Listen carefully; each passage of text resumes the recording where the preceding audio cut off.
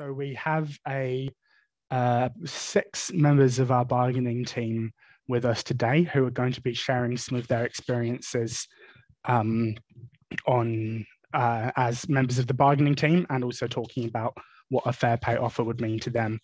So I'll just get you to introduce yourselves one by one and talk about what your role is and how long you've been a health worker for. I will go to Steve. Yeah, g'day. Um, Steve Grant. I'm a sterilising technician up in Northland, DHB.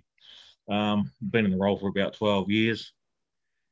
Um, I guess the main thing that uh, fair pay offer would mean would be, you know, recognition for my work and recognition for, you know, our, our work and, and be able to actually not, you know, um, rely on overtime and stuff like that. Um, and Steve, can you share with us what has your employer given you this month to say thank you for being an essential worker? Um, a small coffee and some little chocolates and stuff. Nothing too major. So, would you say that a small coffee and some little chocolates is a suitable alternative to a fair pay deal? Definitely not. Definitely No, not. Absolutely way. not. Sorry. uh, and so, Lloyd, if you are listening right now, I've just resent you your link to um, become a panelist. So check your inbox. Uh, next up is Janet. Janet, please introduce yourself. Kia ora, I'm Janet Quigley and I work for the Regional Public Health Unit as a health promoter based in Timaru. And some of you may recognize Janet as Benedict's predecessor as the president of the PSA. Uh, and we're all very thankful that Janet appears to have lost her mind and hasn't um, put her feet up yet and is continuing on the bargaining team. And Janet, what has your employer given you to say thank you for being the central worker this month? Well, we must have been some of the lucky ones because, um, well, in my workplace, we got a $20 voucher to buy coffee or petrol um, at a garage and we got a cookie. Aren't we lucky? But you know, that's really hardly sufficient when our staff have been in the thick of COVID work for the past two years. So, would you say that was a suitable alternative to a fair pay deal? No, I wouldn't. You know, we've been working doing contract tracing, case investigating, daily monitoring, working in MIQ and border facilities. And, and all of us have changed our work patterns to, to keep these services going um, over the weekends, public holidays, you know. And while we accept working in public health is about readiness to cope with emergencies, this is just long and protracted. It's gone over over two years and it's not over yet. So no, a cookie and a voucher is not enough. I'm seeing a theme emerging here. Uh, we have now been joined by uh, Sue. So, welcome, Sue. Uh, please introduce yourself. Oh, sorry, well, I, I was just going to finish. oh, sorry. because I've got some very important, you know, things to tell people. You know, many of our, our, our staff are really tired, frustrated, burnt out. And, you know, they're leaving in numbers like I've never seen leave before. Um, and, and the new staff taking on the roles and the remaining staff, uh, this is just putting them under huge amount of pressure. And the offer that we've been given doesn't even keep up with inflation. So, what they're really asking us to do is take a pay cut, which I'm not prepared to do. And it's really ironic. I didn't say, but I've been working in the health system for over 50 years. And I started my career as a dental nurse.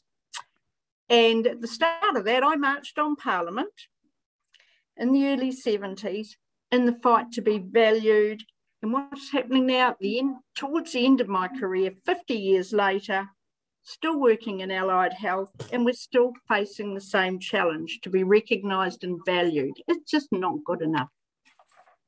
Yeah, thank you, Janet. Now uh, I have finished. okay, Sue, go ahead. Um, I'm Sue. I'm a medical laboratory scientist, and I've been in my current role for 27 years. Um, and, and the, the current pay offer is rubbish. And what um, has your employer what has your employer given you, Sue, to say thank you for being an essential health worker this month? We got given um, for our work during COVID. We got given a twenty dollar cafe voucher to use in the cafes at the hospital, and we also got a um, cookie time cookie, and all of that was really nice. But it really doesn't meet the needs of um, inflation and the needs of our hard work that we put in. So during the um, COVID, we've had a momentous amount of work. It's just been extreme right from the beginning. The pressure's been on to perform all the COVID tests. Um, the public doesn't realise the amount of work that goes into actually do, um, processing and resulting all of those tests.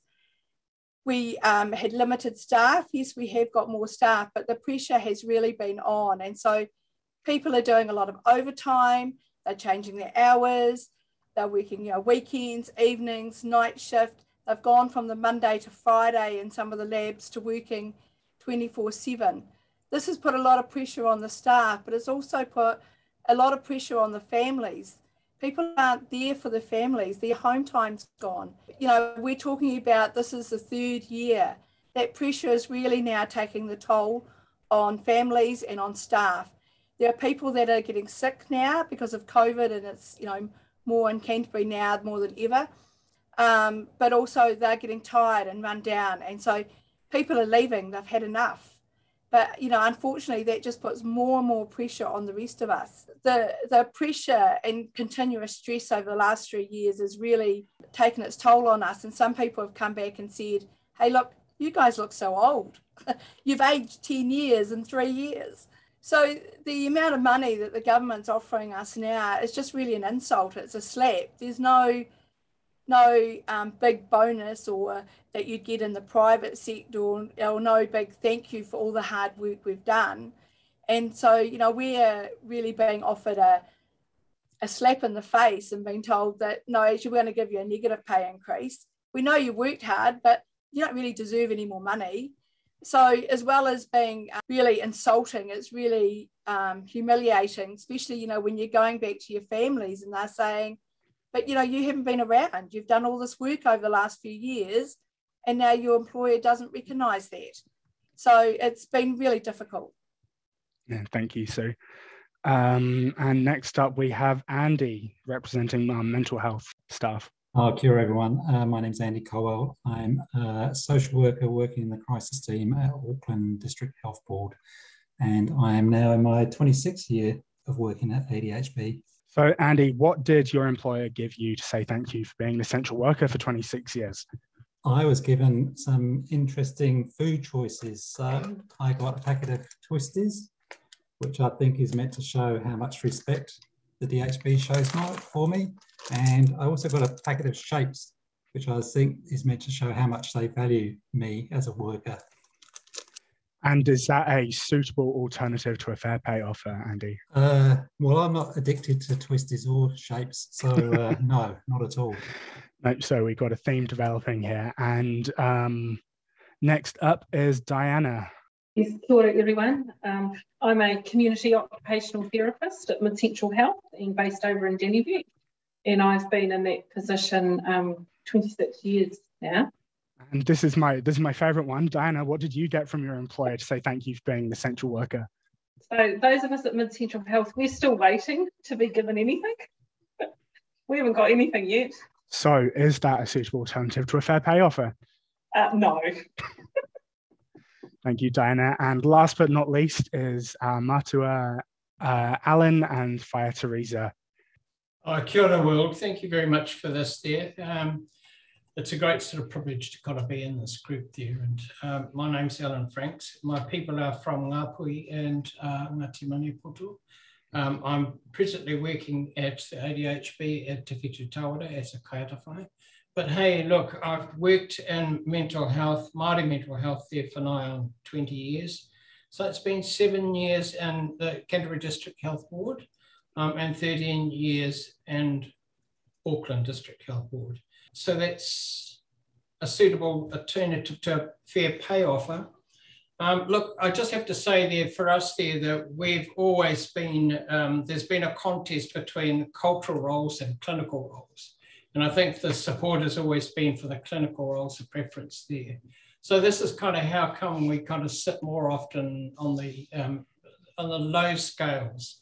I think the difficulties that we have about sort of moving through the scales though is the, wretched um, CASP framework. Um, it was designed not by Māori, um, and so there's, we're not able to kind of really look at it from a whakawhanaunga point of view from our experience in that way. I think some of the things that we come with, our specialised skills, Um, it's to do with the whakapapa that we have there that makes us able to have that relationship with our Māori folk there. That, and I think kind of we've just gone through this in, inquiry about the inequities that sit with Māori. Um, if there were more Māori on board there, that we would probably have less of these kind of these examples that that's not working. So that comes back to things like safe staffing for staff. How come we can, we've only got two FTEs in the service at the moment in Auckland uh, for a 58 bed, a 58 bedded unit. And our, our percentages are easily 20%, which is way above our 10% of average. Um, I think that's probably enough for me to kind of start off. Do you want to ask me some questions? Well, All right, kia ora, Allan. Yeah, we'll get to the questions soon. I'll, I'd just um, ask Thereza if she'd like to add anything to what you've just said. Um, ka hoi Allan, te makautau, te klaki from um, Muslim PHP. Um, it's not much you say, um, well, other um, it's really hard weighing up Māori to generically say generic stuff. Um, we, we've been having a lot of discussions in our own space and it doesn't seem to marry. We seem to be still at the bottom of the... I'm Kaiāwhina, so my base work is with Māori people, but I, what I, if you ring me up, I'll come to you and I'll help you. Um, we seem to be at the bottom of the, of it all, not knowing whether we're home Māori or just plain old workers, community health workers. Um, um, so back to Steve, and Steve, um, I said before, it is International Sterile Services Day, but our sterile supplies uh, members are among our lowest paid members. Can you um, talk to us a bit about how that impacts you and your colleagues? Yeah, well, we're, we're qualified um, health professionals, yet we're not recognised as that, and we're paid very low. And we, um, I have to work a second job to support my family. Um, there's nothing, nothing left to encourage us to stay in the profession or, or work in the profession. And a lot of people are leaving the profession to work at KFC or Bunnings or McDonald's because you actually get more money working there than you do working for the DHB. That leaves a lot of work left the remaining people that are, are stuck or choose to stay at the DHBs. We end up doing a lot of overtime, a lot of evenings, and a lot of the DHBs rely on us doing the overtime to actually run their theatre lists. Because we're so low paid, we're always going to jump at any overtime that's offered to us. So we actually end up working six seven days in a row, um, which is not good for family time. You know, as I say, I already work a second, so I hardly ever see my family. You know, a fair pay deal would mean that, you know, we could actually live instead of just surviving. We're just um, a matter of life and death for us, really. We're, we're just carrying on as much as we can, breaking through not being able to pay bills um, with a, you know, one of the lowest paid professions in the DHB. Okay, thank you, Steve. Uh, Andy, as a mental health professional, do you feel valued by your employer? Uh, no, not at all. Um, in mental health, like in every other part of the service, uh, allied uh, staff are the forgotten workforce, I think. Um, while we appreciate our, that our mental health nursing colleagues, um, I really appreciate what they do. Uh, they work under extremely difficult conditions like us and deserve a lot more support like us. However, when a government or when the government pledges millions of dollars to increasing mental health nursing numbers while completely ignoring allied workers, it makes me feel really invisible and completely undervalued. The DHBs in Auckland are saying that we should be returning to business as usual uh, but one month on from the outbreak, or the Omicron out outbreak, it still hasn't ended for us as workers. We still have lots of colleagues who are off work with COVID, and we still have to carry out all the usual precautions in place, uh, which adds to our already incredibly busy workloads. And that doesn't look like it's going to end anytime soon. Um, we constantly work in an environment where you're under-resourced, overworked, under, underpaid, and quite frankly, exploited. And that is business as usual for us. Nothing is going to change until the government puts a pay offer on the table that's going, going to guarantee a fair pay. Otherwise, we will continue to be chronically understaffed, under resourced, and exploited. Thank you, Andy, but at least you have your shape, so. I do, that's right. And um, Dianna, how are you seeing the impact of low pay and vacancies and undervaluation in your day to day work? we we constantly have vacancies. In fact, I can't remember a, a, time recently where we've been uh, fully staffed without vacancies.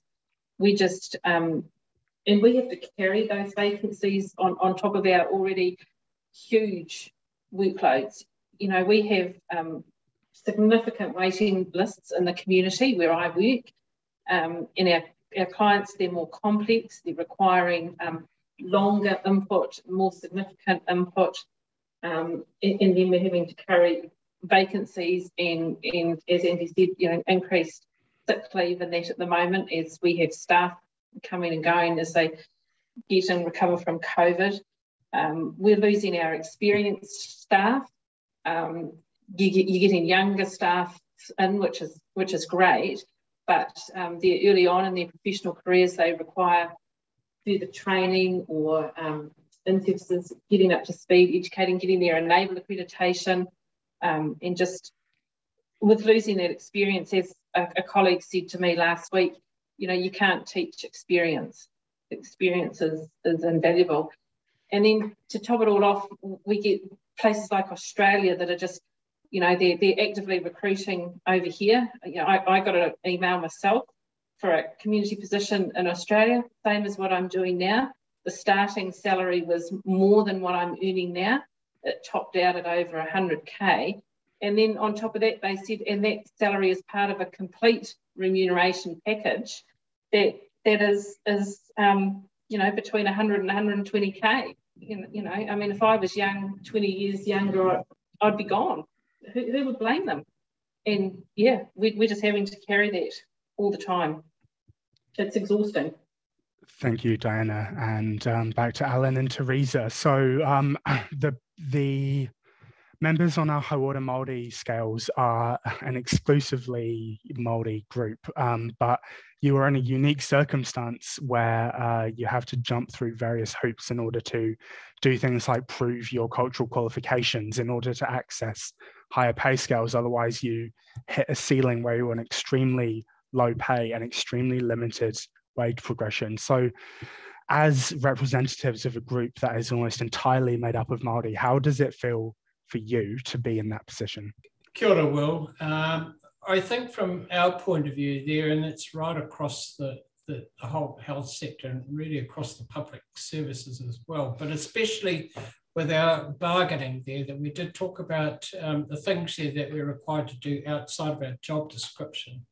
And there's no merit given for it. There's nothing to kind of show there that people are valued accordingly there. Um, I think when I spoke to the kaumātua about, you know, what was the reasonable remuneration for any of the things there that over and above what our job is, he just says, well, you know, I think if anything, there for a fair pay offer, we just need to draw the line in the sand because the people that provide those, those services there are expert in what they deliver. And that's not so that's not measured or monitored successfully in the in the wage scale. So that's the beginning of the beginning of our discussion for the next lot of bargaining, I dare say. Thank you, Allan. And Thereza, if we've got you back, do you have anything to add to that? Um, it's really hard, you know, well, because um, in tikanga and treaties, we don't put a um, monetary value on our tikanga, but when we're working in the world that we are, we've had to compromise, we've had to adapt, and so now we think it's hard for us to do our stuff and be asking non-Māori to reward us, you know. So you, you go in there and I can say with my hand on heart that I'm a kaikaranga and I'm a waiata person and I will stand and sue ki te kōrero i runga te, te marae ātia i raro te maru o te whare, you know, because that's me. And I'm asked to do that times and I'm asked to do karakia, but at the end of the day, my thank you is a cup of tea. Now, when we look at that and we look at a, uh, what is it, a, a DLA, well, you know, Māori, Māori can't take a hat off, but you can take that other hat off. We're forever in mind. We're forever the first person you've been asked to stand up and mahi a te mahi o te Māori. It's hard. It's hard to take kōrero back to our people to say, I'm sorry, we can't help you. You have to go and ask your manager to value um, to add the value to your tikanga. And nine times out of 10, our managers are not Māori. Or they're Māori and they don't go home to the mai. Koe ngā noi o tāku. That's all I've got to say um, about that. Thank you, Thereza. And yes, one one issue that has been um, front and center on the bargaining table was the uh, idea that many of our Māori members and our Hauora Māori members are um, putting in significant kind of cultural labor that isn't part of their job description uh, that they are not getting paid for. Uh, and ensuring that you are not exploited in that way is incredibly important.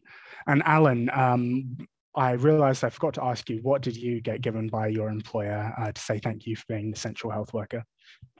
They got nearly what Andy got. he got nearly got what he got. But hey, um, on top of everything, we got a Mr. Whippy ice cream. and, and, we got told they were considering a, um, a noodle run. So look forward to a, a sort of uh, a, instant noodles, I suppose, the two minute ones that come in a packet. My goodness. Would would you say that was a suitable alternative to a fair pay offer? Oh, well, I quite like noodles there, so it just depends if it's those really spicy ones. Oh, I like the spicy ones. oh well, you're you're like as long as you don't try and get Andy's shapes off him, I think you'll be fine. uh, hey, keep an eye on him. thank you, thank you, thank you so much to um, Thereza. I think you just put yourself on mute then, but thank you so much to all of um, our representatives from the bargaining team for sharing your experiences today. And I hope that that shows all of you watching uh, doesn't that demonstrates not only the incredible range of roles that we have under this agreement from sterile services technicians to Hauora Māori workers, but should also show you that regardless of where you are, who you are, what your profession is, or what you earn, that um, that you are not alone in your experiences and that there are 10,000 uh, other allied health workers around the country who share the same concerns and issues and struggles that you have.